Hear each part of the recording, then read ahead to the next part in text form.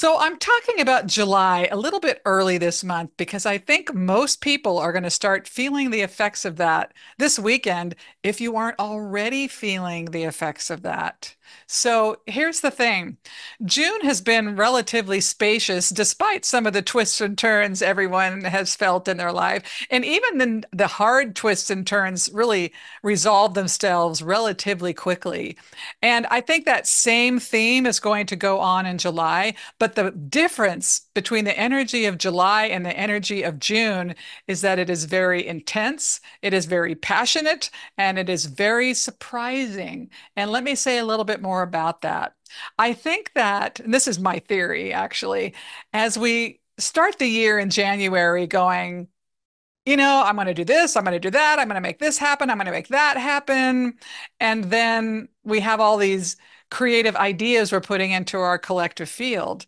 And some of those things could actually manifest that we'd have forgotten about. And that's that's a feature of July.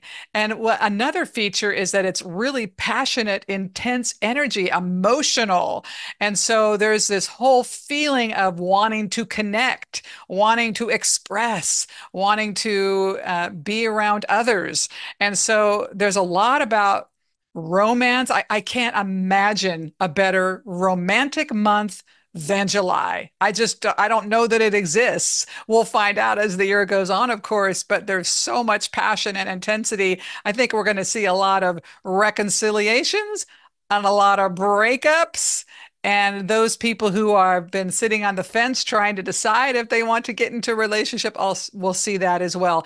And the interesting piece about new relationships, I think they're just going to it's that time that time when organic connections can really happen. You don't necessarily have to go on you're going to be out and about. It's summer for goodness sakes in the us so it's just an amazing time for that. If you're not in the relationship marketplace even career networking. There's a lot about getting up to the next step, making the right connections with the people who can help you.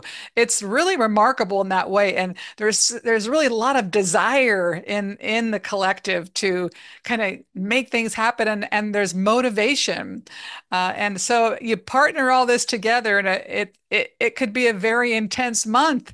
You know, one day you could be sobbing in your pillow and the next day you're dancing for joy. I mean, it's it's really it's very potent. It's a very potent month. Uh, now, to start the month off and this weekend in the Soul Circle, of course, I'm doing this lovely inner journey process I learned through the Empowered Healer method.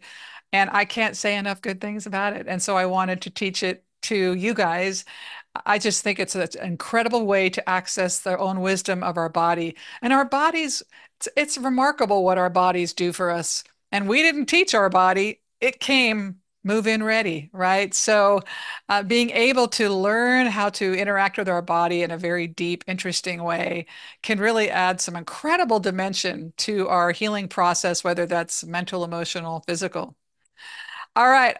I hope you find this helpful, and I can't wait to hear anything you have to say about all this. All right, take care.